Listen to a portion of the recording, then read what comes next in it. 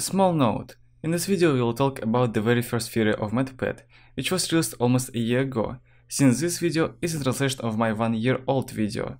Good viewing. So, hello everyone, I am Slade, and a year ago MatPat, who is perhaps the main FNAF theorist and to whom many listen, began releasing a series of theories about FNAF security breach, and with his statement spread a lot of hype on Twitter, because his theory turned out to be very controversial. And today I will tell you why you should not believe it. And before the video starts, please don't forget to leave a like, subscribe to the channel and click the bell to not miss my videos. Well, if you have done this, we are moving on to the video. Let's go. Well, this fear of MatPat begins with the fact that he is confused by the random appearance and the lack of revelation about Gregory. Allegedly, the game begins with the fact that Gregory is inside Freddy. On his count, it turns out that he is not at the visitor database at the Pizzaplex, and in a bad ending when escaping from this very Pizzaplex, he turns out to be homeless. And also, Gregory calls his name with second thought. I. I'm Gregory. It's so strange, we don't know who Gregory is and the game doesn't reveal it to us, and this does not give Matt any peace. So do you know what he does in this case? He literally compares the appearance of Gregory and the victim of Bite of 83, and reveals that they are absolutely similar, therefore Gregory is nothing but a crying child, and that's where Matt's nonsense begins. The person who lead the theories at the beginning of FNAF draws a conclusion about the personality of the character not from any actions of the character, game events, messages or something else. He just takes two characters and says that they are supposedly similar in appearance, which means they are the same character. I think you already understand that it will be a lot of fun next. So the next argument in his theory is that Freddy says I feel you are broken. Just as Splashbear said in FNAF 4, Allegedly, by this reference we had to understand connection of Gregory with the bite victim. This in itself is strange because it seems to me to be nothing more than a coincidence, because not such a catchy phrase to draw such large-scale conclusions from it. Well, then follows a great argument which I still can't understand. He takes the phrase of Chica where she says that she wants to take Gregory to his parents, and when MatPat himself said that there was just previously record phrase for the security protocol, he immediately says that Chica wants to lead him to William, who is under the Pizzaplex as we know. And then I want to why the hell is she attacking us instead and taking us to Vanessa? And why are such strange conclusions just based on the usual word parents? Where is there any logic in this theory at all? Well, then my favorite part begins. He remembers that the crying child, damn it, was the bite victim, and apparently after it he moved into Golden Freddy. So why the hell is he still alive in his opinion? And Matt had a brilliant answer. Gregory is a robot, a rebuilt version of the crying child. Yes, you heard right. He seriously thinks Gregory is a robot. He proceeds from the fact that such a twist has already occurred in a trilogy of books with Charlie. Well, he also leads to some Fazbear frights, where children sometimes change bodies with robots or were replaced with a certain body from Pink Fazgoo. Although I didn't really understand what the Fazgoo was about, and honestly, I don't understand what it was said at all. Does he really think that since it was in the books, then this concept needs to be shoved everywhere and close all plot holes with it? It absolutely doesn't make any sense, but let's listen to his arguments on this score. As the first one, he says the fact that at the sight of Vanny, very strange thing starts happening with the screen. Allegedly this is due to the fact that instead of eyes we have cameras, and at the sight of Vanny it begins to lag. Quite a controversial argument, but this is probably the only thing I can agree with here. This is a really strange thing that I can't explain in any way except by game design. But its effect really raises questions. He further said that when Roxy's eyes are into Freddy, he begins to see us differently, supposedly noticing that we are a robot. You look different to me. However, Freddy himself does not say anything about this, does not ask any questions related to our essence, so the statement is very strange. And the next and very strange argument is that wow, but Gregory can be in the charge with Freddy. This is an absolutely meaningless argument because we are inside Freddy, in a compartment isolated from virus, and I don't understand what's wrong with it at all. And you know, that's basically where his arguments end. So to the questions who made Gregory bot, why someone needed, he decided not to answer, and we didn't receive any explanations. But if this theory could still make at least some sense, despite the fact that I strongly advise you not to believe it, but it's at least based on some weak but facts, then the following theory will shock you.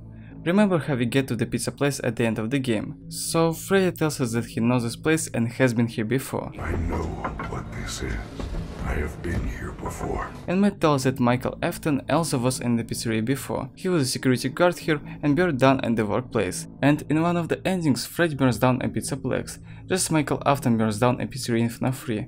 And also, MatPat brings Michael's secret room here, in which there is a message allegedly hitting at his fate and allegedly written by him. And at this moment he makes a conclusion from which my forehead just cracks from my own face palms.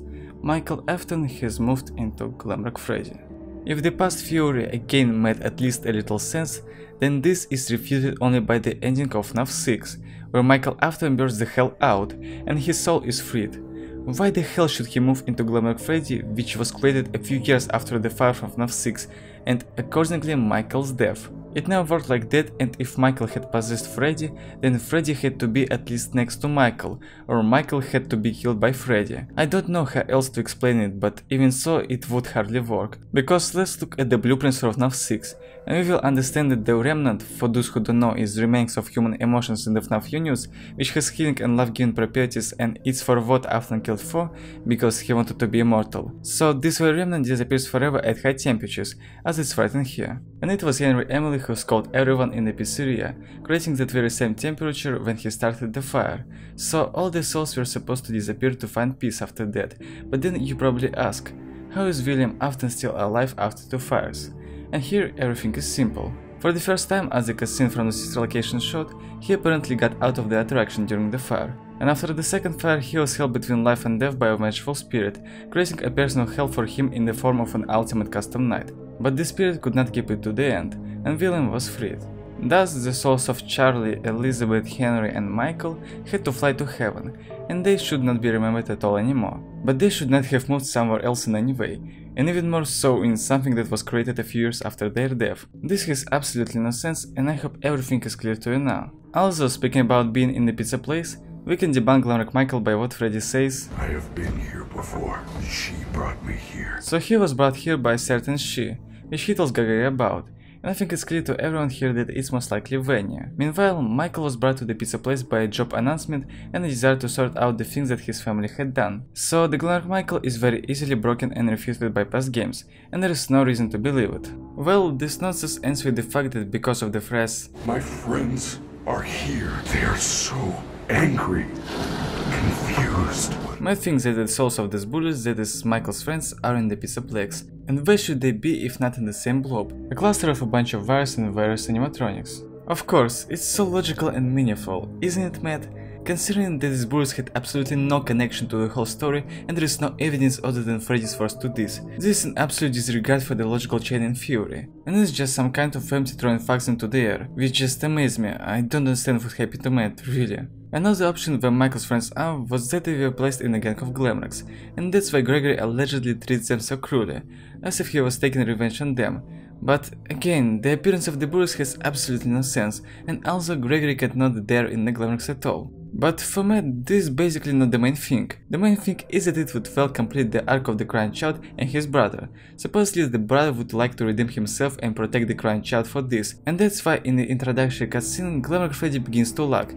He allegedly notices Gregory in the crowd, who is supposedly his brother, and his system crashes. But again, all just collapses about the facts I just provided you with. Glamrock Freddy can't possibly be Michael, that's 100% for sure, as well as the probability that the crying child is Gregory who is a robot is extremely small.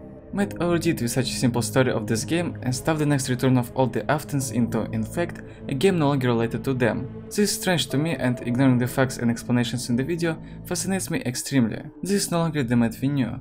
This is already some kind of Matt pet who has gone crazy. There's really nothing else to say. I, I can't explain it. Not Pat. And how good is that this video ends and I don't need to explain any... Wait, what?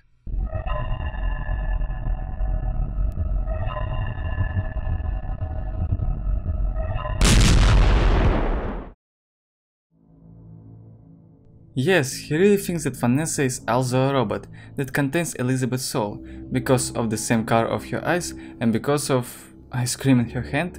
Seriously? Fortunately, he left this nonsense for another video, and I don't need to disassemble and explain anything yet. But I assure you, this is some kind of madness and people are not alarmed about it for nothing. But MatPat, you know, doesn't seem to care about criticism at all, and for some reason he also posted this disgrace in his Twitter, where again a lot of people in the comments laugh at him, because it's really some kind of nonsense served under a beautiful wrapper, and I hope you understand this.